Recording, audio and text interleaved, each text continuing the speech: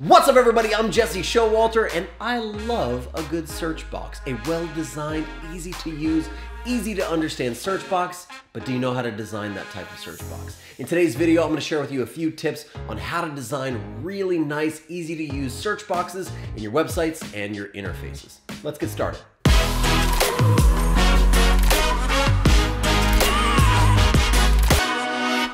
All right, the first tip I have is to make sure that there's a very clear call to action. Not everybody knows that you can hit enter on the keyboard just to do your search. So there has to be a clear call to action, a button. I like to have it right next to the form field itself or directly inside that search box so it all feels like one cohesive element and the user knows they're gonna go ahead and plug in their information there and they're gonna hit search there. Make sure it's really clear. Use that accent or complementary color that's in your color palette. Make sure it's clear, easy to find, easy to use, easy to understand, and easy to search stuff. The next tip is to give the user a hint what it is they can search for. Sometimes they don't know exactly what they should be searching for, so giving them something more than the word search with a dot dot dot afterwards can be really helpful. If it's a streaming service, maybe that placeholder text should say something like search for your favorite movies and TV. If it's a real estate site, maybe it should say search for an address or search for your dream home or enter the address of your dream home.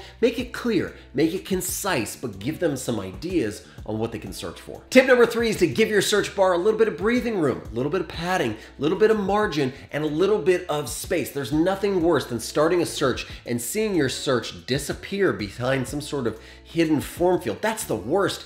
Give it some space so the user can actually you know, search for stuff. The next step is to make sure that your search bar is easy to find. If search is something that is a primary function on your site or in your application, you might want to put it in one of those primary kind of usual or expected places like the top right or the center of the hero or some place that's very visible and maybe kind of goes along with the standards of what's out there right now. Don't reinvent the wheel, put it where you know they're gonna find it. And the last tip is a little bit of a bonus. You don't need to, but it is a nice to have, and that is some sort of animation or interaction. Once the user starts searching or presses search, you wanna have some sort of interaction that tells them we're processing your search. And so a blank screen that just flashes to the next screen, not so slick, not so nice. Maybe some sort of loading indicator, some sort of fun vector animation, or something that says, we're getting it to you. It's on the way.